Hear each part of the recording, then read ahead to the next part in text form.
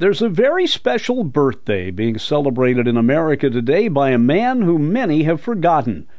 But those of us who love the spoken word, and particularly the golden days of radio, can never forget Norman Corwin.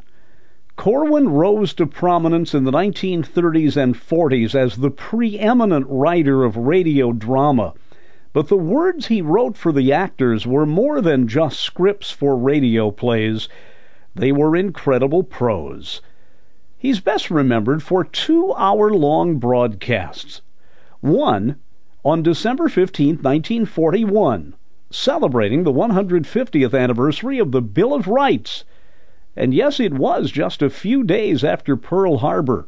The broadcast was heard on all the major networks. All the great Hollywood stars were there. The original music was written by Bernard Herrmann. And you have to realize that everything was on time and live down the network line. And after you hear some of this, you'll note that the narrator is none other than Jimmy Stewart. In witness whereof we have hereunto subscribed our names George Washington, President, and Deputy from Virginia. now, gentlemen, we are ready for your signatures by geographical progression north to south. The deputies from New Hampshire will please sign first. John Langdon. John Langdon. Nicholas Gilman. Nicholas Gilman. The delegates from Massachusetts. Good-looking men, these. They're mostly lawyers. Two or three of them sergeants. Rufus King. The gentleman from Connecticut, please. William Broom, there. Broom of Delaware. He did surveying for a while. Roger Sherman. And now our representative Sherman, New who just signed. He was a shoemaker before he studied law. The gentleman from New Jersey. That's Washington calling the delegation. David Brearley. David Brearley. The gentleman from The man behind Ben Franklin is Alexander Hamilton. Ben's getting old now, 81. Hey, he slept off and on throughout the whole convention. But when it was important to be awake, he was awake all right and active. Cotesworth Pinckney. Charles Cotesworth Pinckney. The gentleman Ah, there have been men assembled in a room before, William. but never to a greater purpose. The other. Well, Abraham Baldwin. Here comes the last to sign now. Yes, William Jackson, Secretary. Well, well, so, so the Constitution has been drafted, signed, and presently will be submitted to the states for their approval. Now the con- convention's all relaxed now. There are handshakes, felicitations. Well, is everybody happy? Will they celebrate, do you suppose? Will Rufus King go home to Boston and be welcomed by a welcoming committee from the city? Will appreciative Virginians hoist James Madison on their shoulders and parade him through the streets, shouting, Father of the Constitution? Will a thumping band march up and down the town making a noise like this?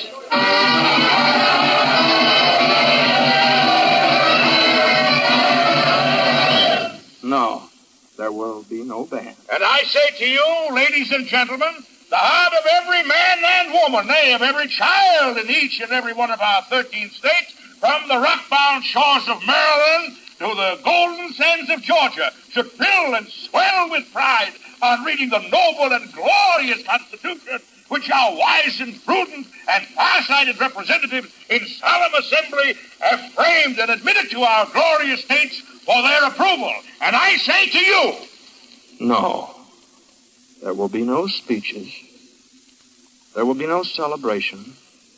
No confetti from the windows. Fireworks saluting cannon. Roses strewn beneath the coaches of the delegates. Instead, suspicion. It was a grand and glorious hour in which Stewart and the actors explained how the Bill of Rights was written and how the Bill of Rights codified America's freedoms.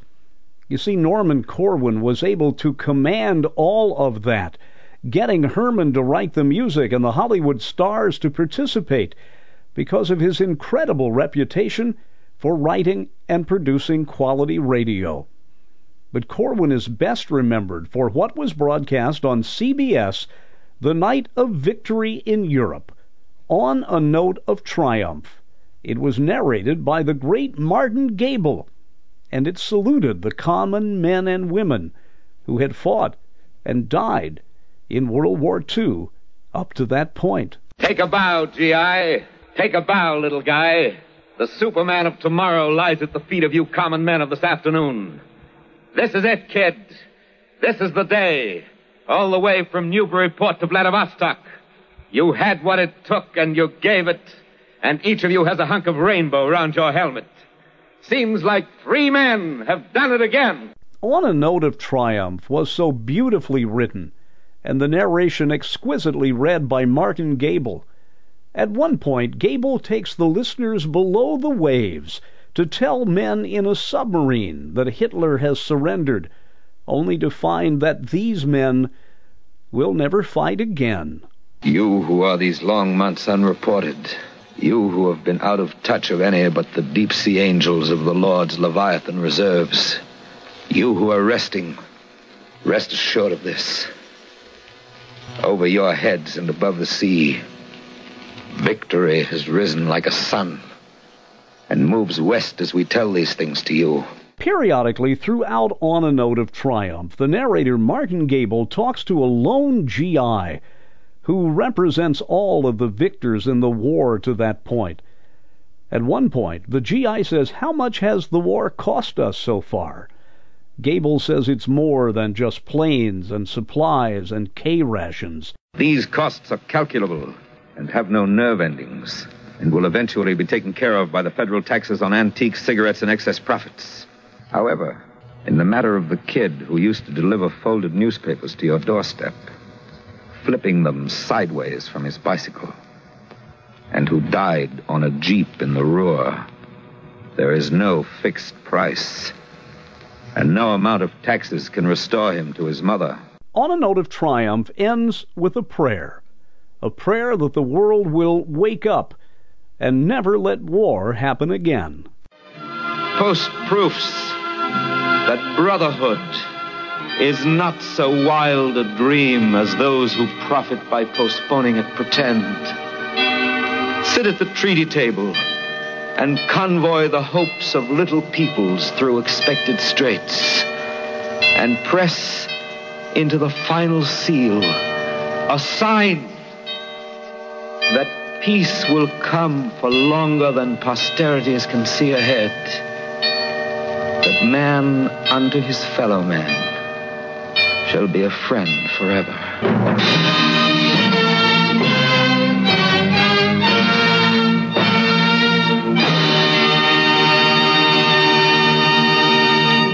This was the most listened to program in the history of American network radio and the man who wrote it, Norman Corwin, turns 100 today. Fourteen years ago, I caught up with Norman Corwin and spent part of an afternoon with him. And one of the things I wanted to ask him is when he and those wonderful people were cranking all of this out at CBS, was it just a job? Or did he think his prose would last forever? Uh, I never thought the work was that singular, that durable, and I wrote it, for example, I was asked by CBS to have a, an hour program ready for the night of victory in Europe. Well, I, I was doing a series. They said, please stop in the middle of it, prepare because it may be soon. So I did, and I stopped and I worked hard on it. And when it was broadcast, I and it was finished, I thought, well, you know, I wiped the sweat from my brow, and I thought, well, we got through that one. I didn't uh, didn't uh, fall on my face, and uh, people seemed to like it. I listened to what Norman Corwin wrote, and I see pictures that are unbelievable. His choice of words. He was indeed a fantastic poet in his era. Even Carl Sandburg once said that Norman Corwin was the best there was. And when I talked to him in that interview a decade and a half ago, he was worried worried about the dumbing down of America and the loss of beautiful language. The poverty of language distresses me, and I'm very happy to hear you allude to it because it's one of the one of the striking uh, lacks in the educational process today. This past weekend, the Writers Guild honored Norman Corwin. There were 450 tickets on sale. 700 people wanted a ticket an American treasure, a man who took the language and made it sing, a man who was at the heart and soul of the golden days of network radio. I'm Dennis Daily.